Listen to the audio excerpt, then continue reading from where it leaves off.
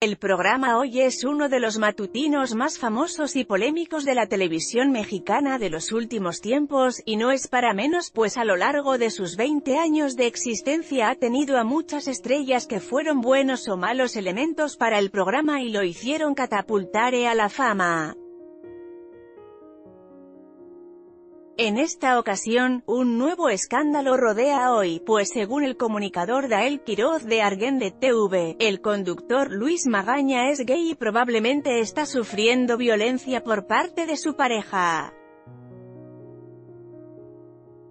El mismo periodista dijo que en los últimos días, el conductor ha aparecido con signos de violencia en el cuello, en la cara y en los brazos no es por intrigar, pero a mí, se me hace que por ahí tiene una pareja que le da sus buenos cates, porque de otra forma no hay manera de justificar que todos los días llegue golpeado a la producción.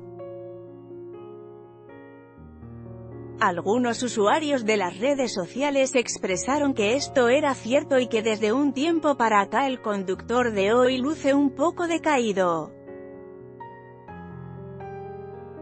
Se dice que Luis Magaña tiene preocupados a todos los de la producción del matutino de Televisa, pues él siempre se ha caracterizado por ser una persona muy noble.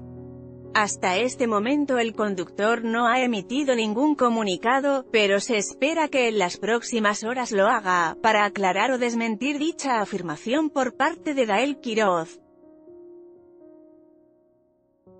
¿Verdad o mentira? Con información de Argende TV y Dael Quiroz anímate a comentar.